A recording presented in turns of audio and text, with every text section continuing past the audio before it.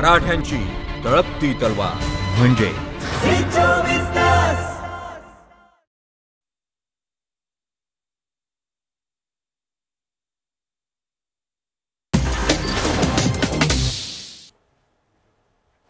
नमस्कार हालो चोवीस तासमध्ये मी मधुरा तुमचं मनापासून स्वागत करते. या कार्यक्रमात आपण विविध विषयांवर चर्चा करत असतो आणि आज आपण आरोग्य विषयक चर्चा करणार आहोत. आजचा आपला विषय आहे मणका शस्त्रक्रिया सोपी सुरक्षित आणि आधुनिक तंत्रज्ञानानं परिपूर्ण.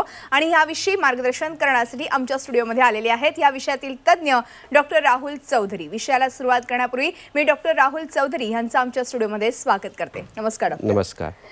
डॉक्टर राहुल चौधरी यांची थोडक्यात ओळख सांगायची झाल्यास डॉक्टर राहुल चौधरी हे ऑर्थोपेडिक आणि स्पाईन सर्जन आहेत आणि त्यांनी अमेरिकेत जाऊन स्पाईन सर्जरीचं खास प्रशिक्षणही घेतलं आहे त्यांनी प्रौढ आणि लहान मुलांच्या मणक्यांच्या शस्त्रक्रियेचं प्रशिक्षण सुप्रसिद्ध ट्विन सिटी सेंटर मिनिओपोलिस हॉस्पि इथे घेतलेलं आहे. Hospital for special surgery New York इथूनही त्यांनी हे प्रशिक्षण घेतलं आहे त्याचबरोबर बऱ्याच राष्ट्रीय आणि आंतरराष्ट्रीय कॉन्फरन्सेसमध्ये त्यांनी आपलं संशोधनपर व्याख्यान सादर केलं आहे तर डॉक्टर चौधरी यांनी मान पाठ कंबर यातील मणक्यांच्या व्याधी स्पॉन्डिलिसिस फ्रॅक्चर ट्यूमर यांसारख्या विकारांवरती उपचार करण्यात प्रभुत्व मिळवलेलं आहे. मणक्यांच्या झिजेमुळे होणारे दुष्परिणाम म्हणजेच गादी सरकणं सायटिका मणके सरकणं यावर नवीन तंत्रज्ञानाच्या आधारे त्यांनी उपचार केलेत. मिनिमली इन्व्हेसिव्ह शस्त्रक्रिया करण्यात त्यांनी प्रभुत्व प्राप्त केलेलं आहे. डॉक्टर चौधरी हे पुण्यातील spine health clinic Jahangir hospital हर्डिकल hospital इथे कार्यरत आहेत. चला तर आज आपण या विषयाबद्दल अधिक चर्चा करूया डॉक्टर चौधरी यांच्याशी लगेचच. डॉक्टर पुन्हा एकदा स्वागत आहे. खरं तर आज आपण मणक्यांबद्दल जाणून घेणार आहोत. आणि मणक्या विकार झाल्यावरती बऱ्याचदा असं होतं की कधी कधी डिस्क सरकते आणि ऑपरेशन करण्याची वे- वेळ येते. मात्र हे ऑपरेशन तितकंसं रिस्की असं असं ऐकिवात आहे. ह्या सगळ्याबद्दल तर मला जाणून घ्यायचंच आहे. पण सगळ्यात पहिला प्रश्न ह्या मणक्याची र- संरचना नेमकी कशी असते? त्याबद्दल काय सांगाल? हो. मणका हा आपल्या शरीराचा आधारस्तंभ आहे पाठीचा कणा. आणि सर्वात महत्त्वाचे म्हणजे त्याच्या मध्यभागून आपली मज्जारज्जू जात असते. आता म मानेपासनं माकड हाडापर्यंत. देर आर सिरीज ऑफ मणके जे एकमेकांशी अटॅच असतात. आणि प्रत्येक दोन मणक्यांमधनं एक नस ही बाहेर पडत असते. जसं आपल्या मानेतले नस आपल्या हातात येत असतात आपल्या पाठीच्या आपल्या बरगड्यांना आणि आपल्या कमरेच्या नस जे आहेत त्या आपल्या पायात जात असतात. तर या प्रकारे ह्या मणक्यांमध्ये प्रत्येक मणका खालच्या मणक्याला एक गादी ज्याला आपण डिस्क चकती असंही म्हणतो. आणि मागच्या बाजूला दोन जॉईंट्स असतात ज्यांना आम्ही फॅसेट जॉईंट म्हणतो. सो अशा प्रकारे ते वरचा आणि खालचा मणका हा तीन ठिकाणी एकमेकांना अटॅच असतो. तर ही एकंदरीत एक बेसिक जी संरचना असते आपली पाठीच्या गण्याची या प्रकारे असते. बरोबर आहे. हे झालं मणक्याची संरचनेबद्दल. मात्र बऱ्याचदा असं होतं की वयोमानानुसार किंवा काही अपघात अपघात घडला ॲक्सिडेंट झाला तरी देखील मणक्याचा कुठेतरी विकार जडतो. म्हणजे डिस्क सरकते किंवा इतर काही अ, व्याधी जडतात. तर अशा वेळेस नेमकं काय करायला पाहिजे? त्याबद्दल काय सांगाल? हो. आता मणक्याची झीज होणं ही खूप कॉमनली यूज टर्म आहे. म्हणजे बऱ्याचदा उतार वयात बाबा माझे मणके झिजलेत आणि त्यापासनं मग वेगवेगळे विकार होत असतात. तर याला कॉमनली आपण wear and tear of the spine किंवा स्पॉन्डिलायटिस स्पॉन्डिलोसिस मणक्यात गॅप पडणे असं संबोधितो. मणक्यांची झीज म्हणजे नक्की काय? तर सर्वप्रथम दोन मणक्यांमध्ये जी चकती असते जी डिस्क असते जसं आपल्या गाडीला सस्पेन्शन असतात तसे आपल्या शरीराला हे शॉक ॲब्सॉर्बर दिलेले आहेत देवानी. परंतु ओव्हर अ पिरियड जर आपण आपलं काहीतरी जड कामं करत असू किंवा आपण जीवनशैलीत कोणत्या पोझिशनमध्ये काय कामं केलेत किंवा कधी मार लागलेला असला काही कारणास्तव त्या चकतीतला अंश पाण्याचा अंश हा कमी होतो आणि त्याची शॉक ॲब्सॉर्बर कपॅसिटी कमी होते. त्याचप्रमाणे जेव्हा चकतीला आजार जळतो तर मागचे जे जॉईंट्स आहेत त्यालाही सूज येते. आणि या प्रकारे एक प्रकारे त्या दोन मणक्यांमध्ये आपण ती झीज बघायला मिळते आपल्याला ज्याच्याने थोडं हाड वाढणं किंवा तिथल्या जे कवरिंग आहे त्याला सूज येणं. तर ह्या प्रकारे याला आपण मणके झिजलेत बुवा असं म्हणतो आपण. बरोबर. आता पुढचं जर आपण म्हणू तर त्याच्यापासून आपल्याला कोणते विकार होतात हे महत्वाचं आहे. कारण हे आज मणक्यातले पंच्याण्णव टक्क्यापेक्षा जास्त पेशंट जे आहेत ते मणक्यांची झीज झाल्यामुळे वेगवेगळे प्रकार झालेत त्याच्यामुळे ते येतात आमच्याकडे. तर जसं मी म्हटलं की एक तर म्हणजे पा आपली जी चकती आहे तिच्यातला पाण्याचा अंश कमी झाला तर तिथून आपल्याला मणक्याचे दुखणं चालू होतं. आता अशा डिस्कवर जर सडनली प्रेशर आलं तर ते कधी कधी त्या डिस्कला बल्जिंग येतं किंवा त्या डिस्कमधलं आतलं जे जिलॅटिनस मटेरियल असतं ते बाहेर सरकतं ज्याला आपण स्लिप डिस्क किंवा डिस्क हर्निएशन असं म्हणतो. आता यामध्ये काय होतं की ती जेव्हा बाहेर येते तेव्हा ती इमिजिएटली त्या बाहेर जाणाऱ्या नसवरती ती प्रेशर आणते. बरोबर. आणि त्याच्यामुळे आपल्याला सयाटिका. कधी ऐकलं असेल तुम्ही हो. तर त्याच्यामुळे आपल्याला पायात किंवा हातात ते दुखणे येत असतात. बरोबर आहे. आता हे एक स्लिप डिस्क प्रकार आहे. दुसरं म्हणजे स्टिनोसिस. आता उतार वयात तुमची डिस्क खराब झाली आहे त्या जॉईंट्सला सूज आली आहे आणि देवाने जी आपल्याला जागा दिलेली आहे आपल्या मज्जारज्जूला एक प्रकारे जागा दिलेली आहे ती जागा जर कॉम्प्रोमाइज झाली तर जो प्रवाह आपल्या पायांमध्ये उतरला पाहिजे तो काही उतरत नाही. आणि मग ते थोडंही चालायला गेलं की त्यांना पायांमध्ये जडपणा येणं हेवीनेस नमनेस सो याला आपण टिपिकली आमच्या भाषेत स्पायनल स्टिनोसिस असं म्हणतो. एक प्रकारे बाबा स्टिनोसिस द जागा इज कॉम्प्रोमाइज आणि मग अजून त्याच्या पुढे जर गेलो आपण उतार वयात तर मग तुमचे मणक्यांना बाक येणं ते सरकणं तिरके होणं ह्याही गोष्टी आपल्याला मणक्यांची जर झीज जास्त झाली तर तिच्यातनं बघायला मिळतात. बरोबर आहे. आता तुम्ही मणक्यांच्या झिजेबद्दल बोललात हा फार महत्त्वाचा मुद्दा आहे. कारण की तरुण वयात असताना आपण भरपूर कामं करत असो सगळ्या गोष्टी करत असो मात्र एक साधारणतः एक चाळीसशी उलटली प- पन्नासशी पर्यंत आपण व्यवस्थित काम केल्यानंतर ह्या आपल्याला मणके विकार किंवा इतरही झीज होणारे जे सांधे आहेत प्रामुख्याने गुडघेदुखी हे सगळे जडायला सुरुवात होते. आणि ह्यामध्ये आपण बघितलं तर महिलांचा गट जो जो आहे तो सगळ्यात जास्त आहे. तर अशा वेळेस तिसी चाळीशी नंतर दिसणारे हे जे आजार आहेत ते ते नेमके कशा पद्धतीने आपण बरे करायला पाहिजे? त्यावरती काय उपाय केले पाहिजे त्याबद्दल काय सांगाल? हो. डेफिनेटली बदलत्या जीवनशैलीमुळे आता मणक्यांचे जे प्रॉब्लेम्स आहेत ते फार वेगळ्या प्रकारे प्रेझेंट व्हायला लागले. ऑब्व्हियसली पहिले जर तुम्ही आपण मागे जर मागल्या दशक दशकात बघितलं तर मुलगा वडिलांना घेऊन यायचा मणक्याच्या प्रॉब्लेमसाठी आता बरेचदा मुलाचे वडील मुलाला घेऊन येतात मणक्याच्या प्रॉब्लेमसाठी सो ही जी शि- जीवनशैली बदलली आहे त्याला बरेचसे रिझन्स आहे त्याच्यामागे.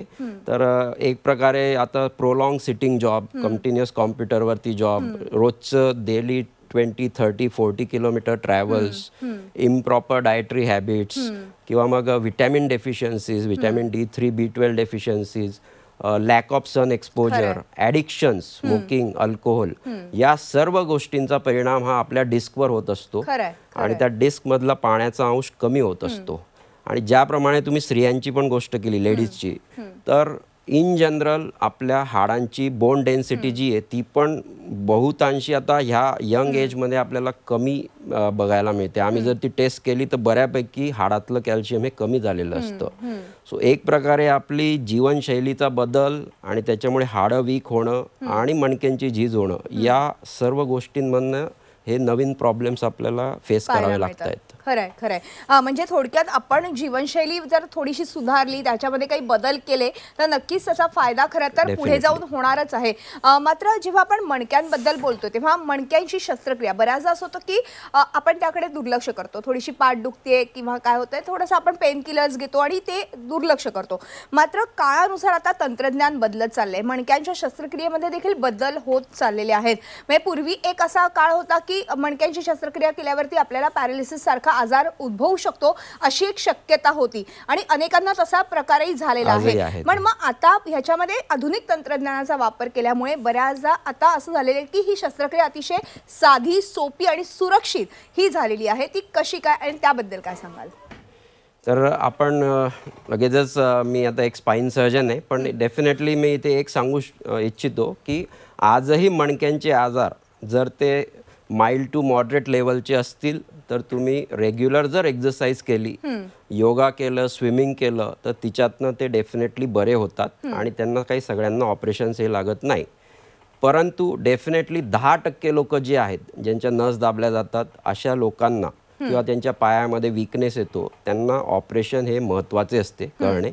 आणि आज being a spine surgeon I think मला ह्या गोष्टी फार पूर्णपणे एकदम थोडंसं त्यांना डिटेलमध्ये मी सांगू इच्छितो आपल्या प्रेक्षकांना की बाबा मला मणक्याची सर्जरी सांगितली. म्हणजे नक्की काय सांगितलं there are various types of surgeries बरोबर. तर मोस्ट कॉमन जर सर्जरी म्हटली तुम्ही तर डिस्केक्टमी डिस्केक्टमी म्हणजे काय? की जसं आपण गादीचं आता डिस्कस केलं की हो. ते सरकली. तो नस दाबली जाते. सो त्या सर्जरी ते बेसिकली तो तुकडा जो आहे डिस्कचा तेवढा तो आम्ही काढतो आणि ती नस मोकळी करतो. त्याला आपण डिस्केक्टमी म्हणतो. आता ही सर्जरी तुम्ही पारंपरिकरित्याही करू शकतात आणि आधुनिकरित्याही करू शकतात. ते I will come to that point the second thing is decompression decompression म्हणजे जसं आपण म्हटलं स्टिनोसिसमध्ये की जागा एकदम कॉम्प्रोमाइज झाली तर आम्ही ती रिएस्टॅब्लिश करून देतो ती जागा. जे वाढलेलं हाड आहे ते थोडं कट करतो आम्ही जे डिस्क सरकली तो थोडा भाग कमी करतो. जेणेकरून परत मज्जारज्जूला ती जागा आपण करून देतो. आणि नंतर स्पायनल फ्युजन सर्जरी म्हणजे दोन मणके जोडायची सर्जरी. हिच्यात प्रामुख्याने आपल्याला मणक्यांमध्ये स्क्रू टाकावे लागत असतात आणि रॉड जोडावे लागत असतात. सो त्याला स्पायनल फ्युजन. आता ह्याच गोष्टी आता नवीन जी गोष्ट आलेली minimally invasive spine surgery. So ह्या व्हेरियस गोष्टी ज्या आहेत त्या आपण छोट्या छिद्रातनं आता करू शकतो. प्रत्येक वेळी आपल्याला मोठं मोठं पूर्ण मणका ओपन करायची गरज नाही. आणि लेटेस्ट म्हणाल तर आता डिस्क रिप्लेसमेंट पण आलंय. जसं जॉईंट रिप्लेसमेंट सगळ्यांना माहिती आहे गुण- गु- गुडघा बदलीचं ऑपरेशन वगैरे तसंच तुमची डिस्क जर खराब झाली असेल तर you can replace it with artificial disc so ही पण गोष्ट आता प्रामुख्याने नवीन आलेली आहे. बरोबर आहे. तर प्रामुख्याने पहिले मी सांगू इच्छितो की ओपन सर्जरी म्हणजे मागच्या दोन तीन दशकात ही कॉमनली आजही होती बऱ्यापैकी. तर पारंपरिक सर्जरी म्हणजे नक्की काय करतो आपण हिच्यात तर पाठीच्या आपण कमरेच्या किंवा पाठीच्या मध्यभागी आपण एक इन्सिजन घेत असतो. स्किनवरती. नंतर आपण तिथले जे मसल्स आहेत आपले मणक्यांचे ते मसल्स आपण रिट्रॅक्ट करतो जेणेकरून आपण हाडापर्यंत पोहोचू शकतो. आणि मग एकदा आपण पाठीच्या कण्यापर्यंत पोहोचलो की मग आपल्याला त्या पाठीच्या कण्याचा काही भाग हाडाचा काही भाग हा काढून त्याच्यानंतर मग आपल्याला ती नव वगैरे दिसते आणि मग ती नस मोकळी करण्याचं ऑपरेशन किंवा तिच्यात स्क्रू टाकून त्याला फिक्स करण्याचं हे व्हेरियस गोष्टी आपण करतो. तर हे पारंपरिकमध्ये मेनली आपल्याला एक मोठं इन्सिजन घेऊन पूर्ण मसल्स हे बाजूला करून हाडापर्यंत पोचावं लागतं. आता जर आपण आधुनिक तंत्रज्ञानाकडे वळलो. तर देर आर व्हेरियस टाईप्स आणि ह्या सर्व याच्यात आपल्याला मसल्स हे रिट्रॅक्ट करावे लागत नाही. आपल्याला जिथे काम आहे तिथे डायरेक्ट आपण एक होल करून त्या जागी पोहोचतो. तिथलं जेही डिस्कचा तुकडा असेल डिस्कचा तुकडा काढतो आपण. मला स्क्रू टाकायचं आहे तिथून मी एक स्क्रू टाकून देतो. त्याला रॉड कनेक्ट करतो. एक आपण व्हिडिओ रन करूयात नंतर. दॅट विल शो सो ह्या सर्व गोष्टी ज्या आहेत त्या एका छोट्याशा छिद्रातनं आपण आता करू शकतो. आपल्याला मोठं ओपन करायची गरज नाही हाड काढायची गरज नाही आणि एक प्रकारे आपण पाठीचा कणा डिस्टेबिलाइज करत नाही. जेवढा आपल्याला कामाची गोष्ट तेवढं आपलं काम करायचं आणि बाहेर यायचं. बर बर. तर हे बेसिकली आधुनिक तंत्रज्ञानाचं मेन हे ॲडव्हान्टेज आहे आपल्याला. अगदी. अ, आत्ता तुम्ही खरं तर ओपन सर्जरी म्हणजे वर्षानुवर्षे पारंपरिक पद्धतीने करत आलेली एक सर्जरी आणि मिनिमल इन्व्हेझिव्ह सर्जरी ह्याच्यामध्ये जर आपण विचार केला तर मिनिमल इन्व्हेझिव्ह सर्जरी ही फार उपयुक्त अशी सर्जरी आहे. कारण की याच्यात कमीत कमी खरं तर तुम्हाला रक्त म्हणजे हे होतोय आणि त्याचबरोबर एक महत्त्वाचं म्हणजे कमीत कमी छेद देऊन आपण ही सर्जरी करतो. ह्याचे ह्या दोन्हींचे नेमके काय फायदे? जर आपण दोन्हीचा विचार केला तर त्याबद्दल काय सांगाल? डेफिनेटली आता जसं आपण पारंपरिक डिस्कस केली तर जी मिनिमली इन्व्हेजिव्ह आहे हिच्यात जसं मी सांगितलं जर मसल कटिंग नसेल तर ऑब्व्हियसली तुमचं ब्लड लॉस जो आहे तो सिग्निफिकंटली कमी होतो. आज जर मला एखादी ओपन सर्जरी करायची तर इझिली आपला तीनशे चारशे एम एल ब्लड लॉस होतो.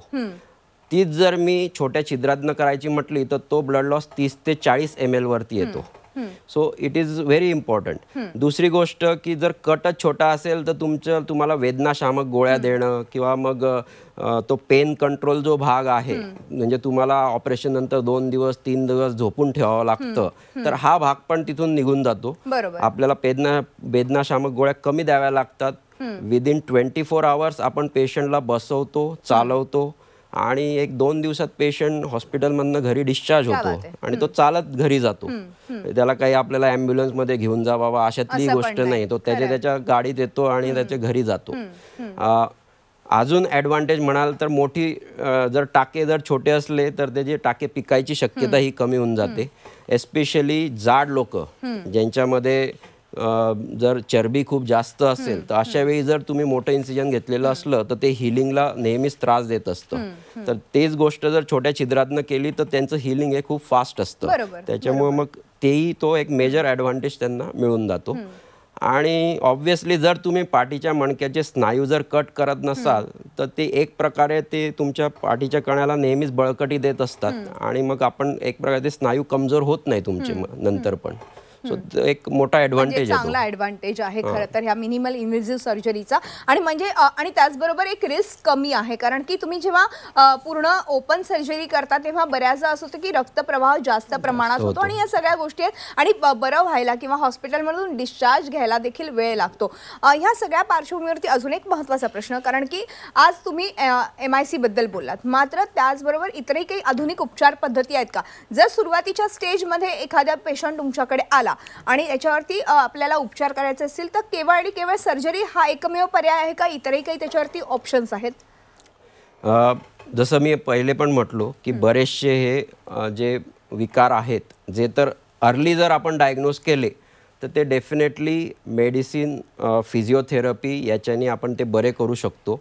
सो प्रत्येकाला ऑपरेशन लागतं अशातली गोष्ट नाही. लेट्स से जर माझ्याकडे शंभर पेशंट्स आलेत तर तिच्यातले नव्वद पेशंट हे डेफिनेटली मेडिसिन आणि फिजिओथेरपी याच्याने ते बरे होतात.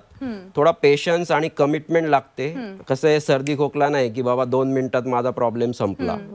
एक महिना दीड महिना लागतो थोडी विश्रांती घ्यावी लागते. पण इट गिव्ज रिझल्ट तर ते डेफिनेटली एक तो सर्टन पॉप्युलेशन आहे की ज्यांना ऑपरेशनची गरज नाही. आता तिच्यात अजून कोणते काही पेशंट्स असतात की ज्यांना खरंच त्या नसचा प्रॉब्लेम आहे आणि जो रेग्युलर मेडिसिननी किंवा फिजिओथेरपीनी सेटल होत नाहीये. अशा काही पर्टिक्युलर पेशंट्समध्ये आता आपण ती पण एक नवीन तंत्रज्ञान मी जे विकसित केलेलं आहे की जिच्यात आपण ते एक इंजेक्शन ट्रीटमेंट करत असतो.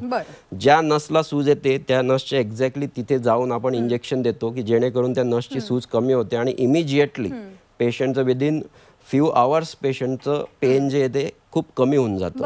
आता असेही पेशंट आहेत तर शंभर मधले जर नव्वद तसे गेले तर एक पाच सहा पेशंट असेही ज्यांना आपण एका सिंपल इंजेक्शननी पण ट्रीट करू शकतो. परंतु एक तीन ते चार टक्के पेशंट तुम्ही असे पकडा की ज्यांना खूप जास्त डिस्क सरकलेली असते नस खूप जास्त चोकअप असते पूर्ण तो प्रवाह बिलकुल खाली उतरत नाहीये. मग अशा पेशंट्समध्ये ऑपरेशन शिवाय काही गत्यंतर नाही. बरं. आणि अशा पेशंट्समध्ये मग definitely with newer advances it is a miracle for them आणि म्हणजे एक वरदानच आहे की बाबा तुम्ही ऑपरेशन करा. आज कोणालाही पूर्वी पूर्वी पो लोक कोणी पेशंट झोपून राहायला तयार राहायचा. बाबा ठीक आहे ऑपरेशन झालंय मी एक एक महिना दीड महिना तीन महिने झोपून राहील. माझं कोणीतरी करेल घरी. सी दिस हॅज चेंज्ड बरोबर आहे. प्रत्येकाची न्यूक्लिअर फॅमिली आहे जो तो कामाला जातो तो पेशंटचा पहिला क्वेश्चन मला हाच असतो की बाबा मी कामाला परत कधी जाईल?